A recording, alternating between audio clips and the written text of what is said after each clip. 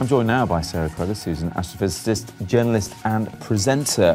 What do you Hello. think of uh, this, Sarah? We've only been going to space for 50 or 60 years. I think, you know, we just take so many things for granted to do with space travel. Everything in our everyday life, such as mobile phones, technology, TVs, it all relies on space. What we're actually seeing at the moment are the closest up pictures of a comet that we've ever, ever seen. By understanding more about a comet, you can understand more about why we have life here on Earth. 41 years ago this week since Americans last walked on the moon. Do you think, looking back now, you realise kind of how surreal everything was? Oh, about yeah. so many parts of the culture back then was about space travel.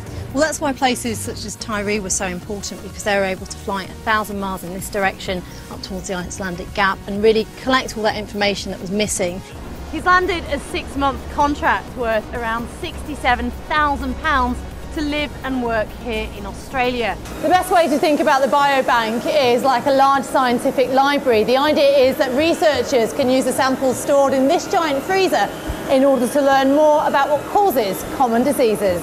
The operation is being trialled here in Manchester. The idea is it's cheaper, better for the patients, and more efficient.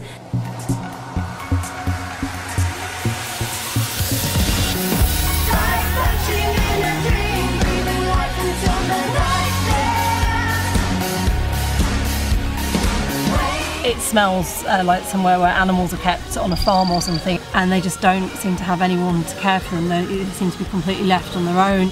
It's not just about science, all these space missions are about inspiring people. It is just an incredible, incredible experience.